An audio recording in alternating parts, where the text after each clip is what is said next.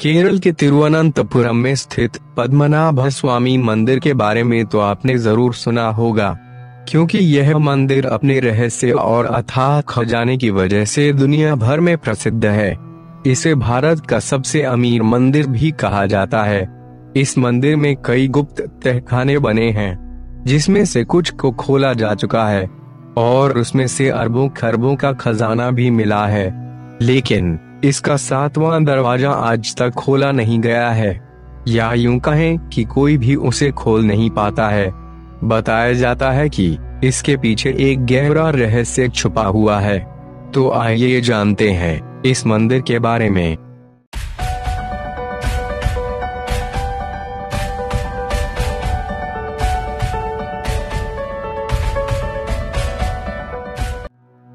केरल की राजधानी तिरुवनंतपुरम के मध्य में स्थित है पद्मनाभ स्वामी का मंदिर। विशाल किले की तरह दिखने वाला यह मंदिर विष्णु भक्तों के लिए महत्वपूर्ण आस्था स्थल है। यहाँ भगवान विष्णु शेषनाग पर शयन मुद्रा में विराजमान है। मंदिर का इतिहास काफ़ी पुराना है। महाभारत के अनुसार श्री कृष्ण के बड़े भाई बलराम इस मंदिर में आए थे, और यहाँ पूजा अर्चना की थी। मान्यता है कि मंदिर की स्थापना 5000 साल पहले कलयुग के प्रथम दिन हुई थी। लेकिन एक में त्रावनाकोर के राजा मारतंड वर्मा ने इसका पुनर्निर्माण कराया था। यहाँ भगवान विष्णु का श्रृंगार शुद्ध सोने के भारी भरकम आभूषणों से किया जाता है। यहाँ भक्तों को अलग अलग दरवाजों में से भगवान विष्णु की लेटी हुई प्रतिमा के दिव्य दर्शन करने को मिलते हैं। इस मूर्ति में शेष नाग के मुँह इस तरह खुले हुए हैं, जैसे शेष नाग भगवान विष्णु के हाथ में लगे कमल को सूंघ रहे हों। मूर्ति के आसपास भगवान विष्णु की दोनों रानियों श्रीदेवी और भूदेवी की मूर्तियाँ स्थापित हैं। इस मूर्ति में भगवान विष्णु की नाभि से निकले कमल पर जगत पिता ब्रह्मा की मूर्ति स्थापित है। मुख्य कक्ष जहाँ विष्णु भगवान की लेटी हुई मुद्रा में प्रतिमा है, वहाँ कई दीपक जलते रहते हैं। इन्हीं दीपकों के उजाले से भगवान के भव्य दर्शन होते हैं।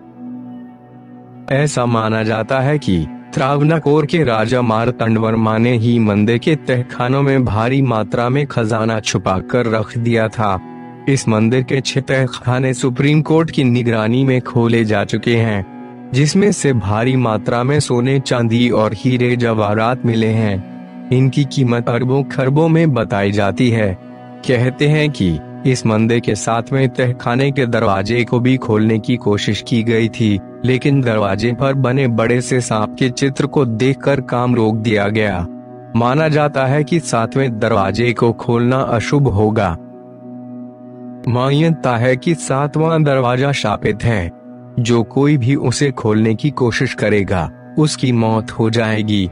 साथ ही यह भी माना जाता है कि इस दरवाजे को खोलने से धरती पर प्रलय आ जाएगा। कहा जाता है, इस दरवाजे को कोई तपस्वी गरुड़ मंत्र बोल कर ही खोल सकता है। अगर उच्चारण सही से नहीं किया गया तो उसकी मृत्यु हो जाएगी। कहते हैं कि, एक बार कुछ लोगों ने इसे खोलने की कोशिश की थी, लेकिन जहरीले सांपों के काटने से उनकी मौत हो गई थी। आज भी इस अकूत संपत्ति की देखभाल त्रावणकोर राज परिवार करता है। मंदिर में अत्यंत कड़ी सुरक्षा व्यवस्था के साथ साथ यहाँ श्रद्धालुओं के प्रवेश के नियम भी हैं। पुरुष केवल धोती, मुंडू पहनकर ही प्रवेश कर सकते हैं, और महिलाओं के लिए साड़ी पहनना अनिवार्य है। अन्य किसी भी लिबास में प्रवेश यहाँ वर्जित है। राजधानी तिरुवनंतपुरम को यह नाम भगवान विष्णु के अनंत फन वाले नाग के कारण ही मिला है। मंदिर में एक स्वर्ण स्तंभ बना हुआ है, जिसकी सुंदरता को श्रद्धालु एक तक निहारते रहते हैं। मंदिर का स्वर्ण जड़ित गोपुरम सात मंजिल का 35 मीटर ऊँचा है। कई एकड़ में फैले मंदिर में महीन कारीगरी का भी कमाल देखते ही बनता है। मंदिर के बाहर पवित्र सरोवर है जिसे पद्मनाभ तीर्थ कहते हैं। श्री पद्मनाभ मंदिर की एक विशेषता है कि, इस मंदिर में भगवान विष्णु की शना मुद्रा बैठी हुई और खड़ी मूर्तियाँ स्थापित की गई हैं। सभी मूर्तियों की विशेष रूप से पूजा अर्चना की जाती है। तीनों मूर्तियों की पूजा अलग अलग तरीके से की जाती है।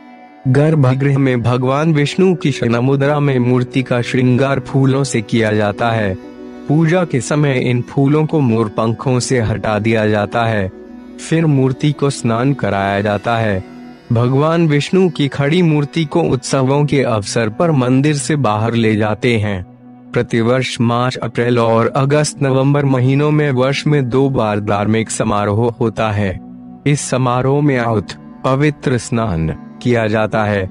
इस समारोह में भगवान विष्णु, नरसिंह और भगवान श्री कृष्ण की मूर्तियों को नगर के बाहर समुद्र किनारे पर ले जाकर स्नान कराया जाता है।